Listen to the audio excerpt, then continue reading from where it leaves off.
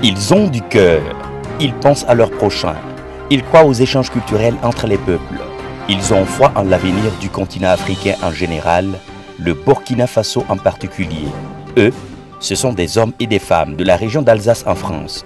À travers leur élan de solidarité et de partage, ils ont contribué à la réalisation d'un centre d'accueil pour enfants en difficulté à Ouagadougou, capitale du Burkina Faso.